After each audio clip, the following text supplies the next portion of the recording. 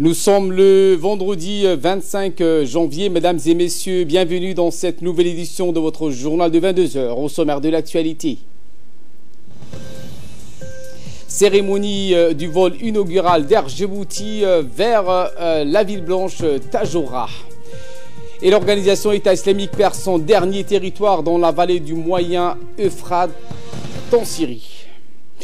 Voilà pour le sommaire. Merci si vous nous rejoignez sur Télé Djibouti. Mais avant de développer ces titres, ce message, euh, ce communiqué, pardon, euh, qui nous provient de la présidence et qui précise que l'Inde décerne l'une des plus hautes distinctions au chef de l'État, Ismaël Marguerite, à l'occasion du 70e anniversaire de sa fête euh, nationale. La République de l'Inde a désigné aujourd'hui, vendredi, le chef de l'État djiboutien, Ismaël Marguerite, l'heureux récipiendaire de la Padma Vibhushan, l'une des plus hautes distinctions civiles qu'elle décerne. L'attribution de ce prix au président de la République s'inscrit dans le droit fil de son engagement permanent en faveur de la sécurisation, de la stabilisation et de la pacification de cette partie stratégique euh, du monde. Je vous le disais en titre, le Premier ministre Abdelkader Kamil Mohamed a parrainé hier matin la cérémonie d'inauguration des vols domestiques de la compagnie nationale Air Djibouti à destination des villes touristiques, à savoir la ville blanche et Hayou. C'est à la tête d'une forte délégation que le Premier ministre s'est rendu hier euh, jeudi dans la région de Tajora à bord du vol inaugural des futures dessertes domestiques. Le lancement des vols est programmé pour le 31 janvier prochain. La délégation qui accompagnait le Premier ministre lors de cette cérémonie inaugurale par la compagnie aérienne nationale Air Djibouti était composée de plusieurs membres du gouvernement, parmi lesquels le ministre de l'Intérieur, le ministre de la Défense, le ministre des Transports, le ministre délégué à la décentralisation, le secrétaire d'État à la jeunesse et au sport, le médiateur de la République, des officiers généraux des armées terre, air, mer, dont le général Zakaria Cheikh Ibrahim, le directeur général de la police nationale, le maire de la ville de Djibouti et des représentants des systèmes des Nations Unies à Djibouti. Tous ces personnalités ont pris place à bord de trois avions d'Air d'une capacité de 15 sièges chacun. Abdelkader Kamil Mohamed, Premier ministre, a indiqué dans son intervention les avantages de ces dessertes domestiques que trois vols par semaine vont réduire le temps de déplacement de nos concitoyens vers les régions d'extrême nord. Le gouvernement, le chef de l'État surtout, nous a tracé, c'est de participer au développement de l'économie de Tajoura.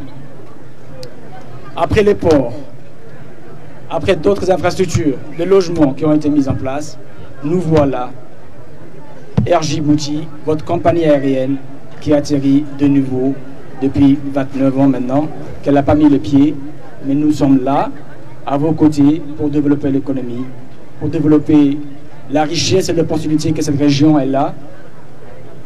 Vive la République de Djibouti, vive le Tajoura.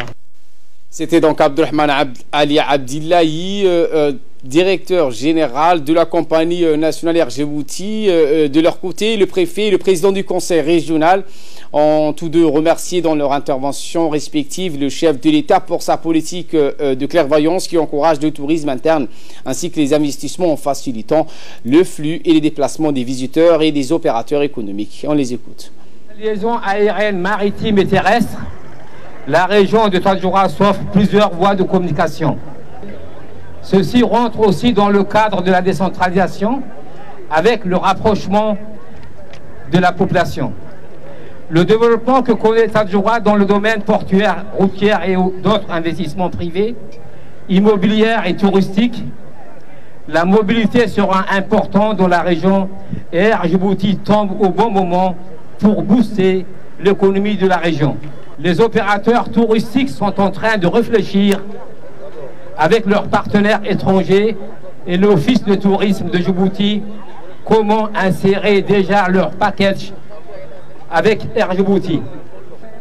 Nous remercions le président de la République, son Excellence M. Ismail Guélé, qui a mené le combat pour que Air Djibouti renaisse de nouveau pour servir notre pays.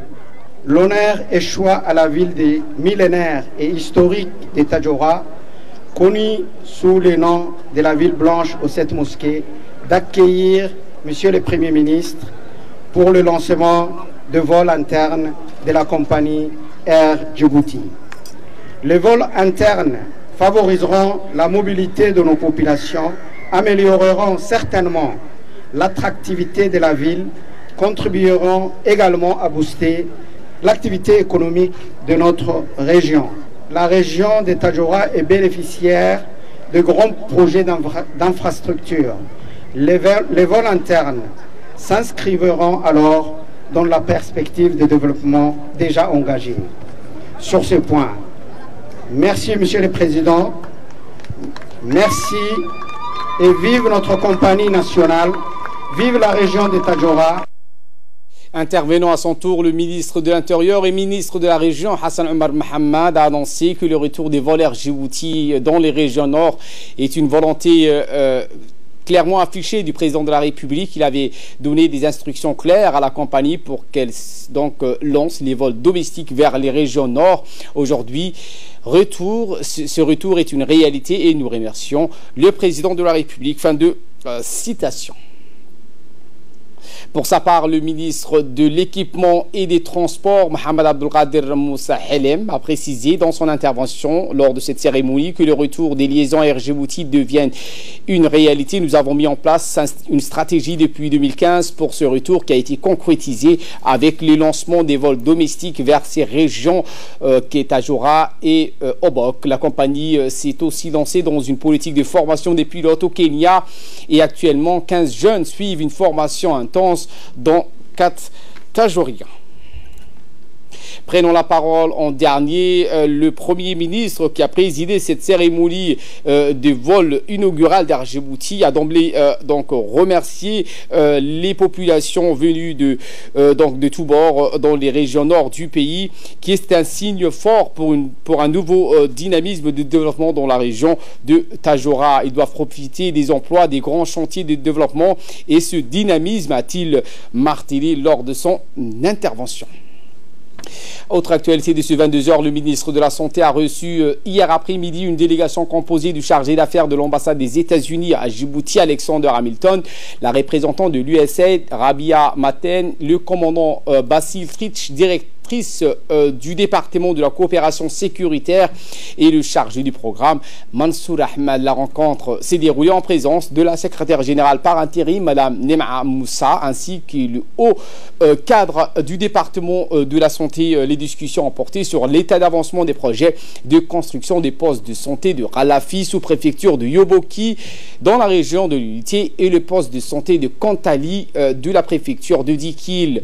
L'inauguration prochaine du poste de santé euh, d'Ali sous-préfecture de Dameljouk de la région d'Arta, la fin du mois de janvier. Ensuite, les deux parties ont soulevé l'état d'avancement du dossier de construction du centre de maintenance de PK12 pour le ministère de la Santé.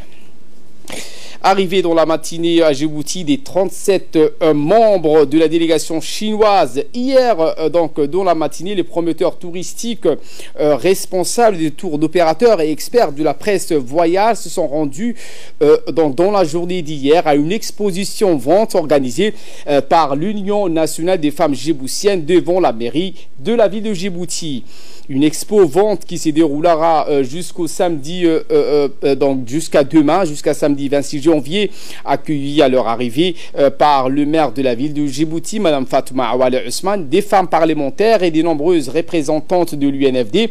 La délégation chinoise a pu profiter des différents produits artisanaux exposés. En effet, ces produits confectionnés par des Djiboutiennes, des femmes artisanes de la capitale et des régions de l'intérieur, ont été euh, euh, exposés sur plusieurs stands.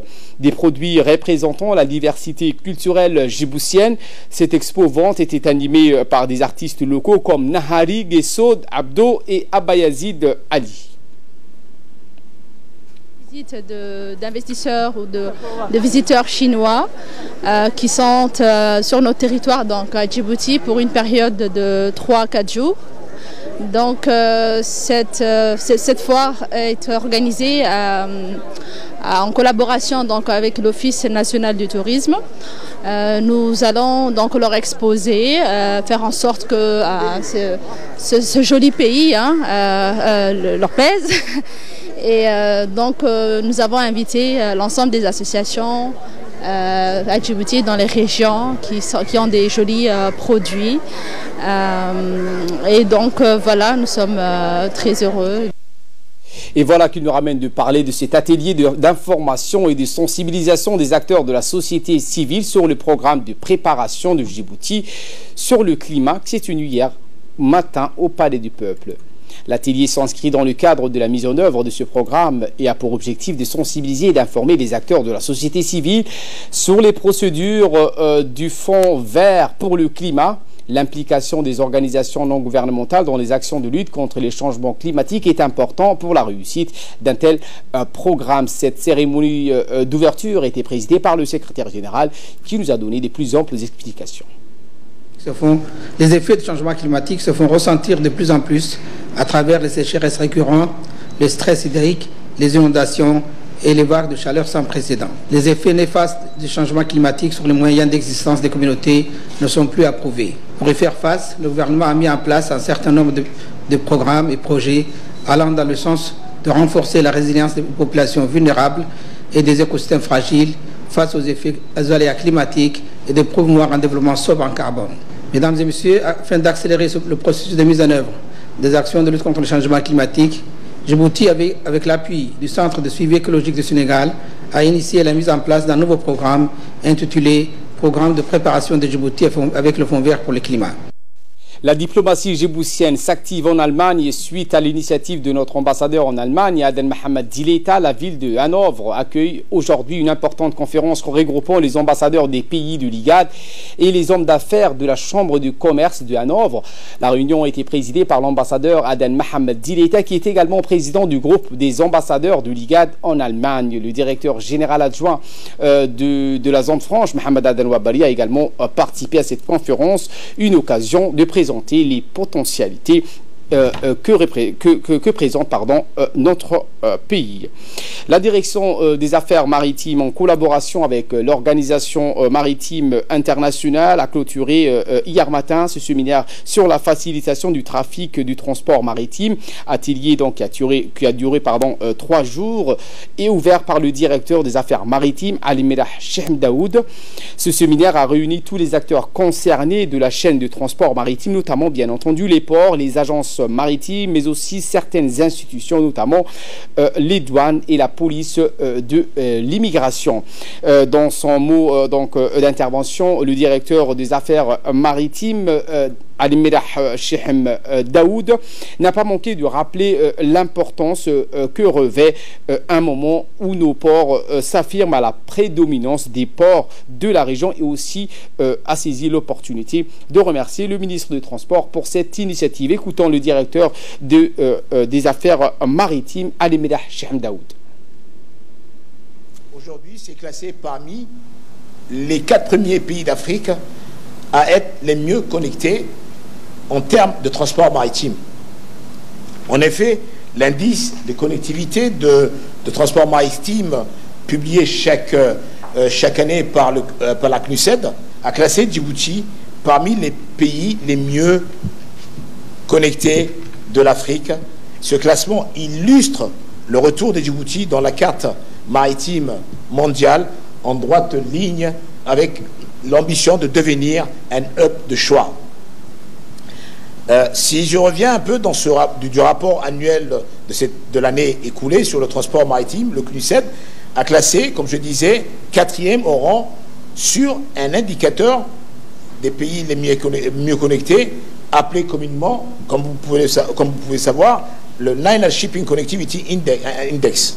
Ces classements s'expliquent d'abord par la nette amélioration, la nette amélioration de la propre performance de nos terminaux, et l'atteinte de ces résultats s'est traduite par un regain de confiance des grandes lignes euh, maritimes.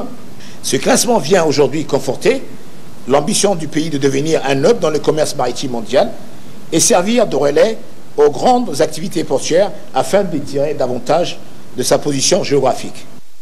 Et en nouvelle du monde en Syrie, le califat de l'État islamique perd son dernier territoire en dépit de sa défaite militaire. L'organisation euh, islamiste tente de profiter du, vide créé par le retrait américain. C'est ce qu'a annoncé le président américain Donald Trump. Le dernier îlot du califat autoproclamé par l'organisation État islamique en 2014 vit ses dernières heures. Aujourd'hui, vendredi 25 janvier, les forces démocratiques syriennes encerclaient Al-Marashida, la dernière localité contrôlée par l'État islamique dans la vallée du Moyen moyen Euphrates, une petite bourgade rurale isolée entre deux bras du fleuve. C'est l'épilogue d'une campagne militaire qui a mêlé l'alliance arabo-kurde de la frontière turque dans le nord de la Syrie à la frontière ukrainienne dans le sud-est. Une course euh, poursuite dont, euh, de cinq années qui a coûté la vie à près de 10 000 euh, personnes. Voilà pour l'essentiel de ce 22h. Merci de votre fidélité. Restez avec nous. Le programme continue sur Télé Djibouti. Thank you.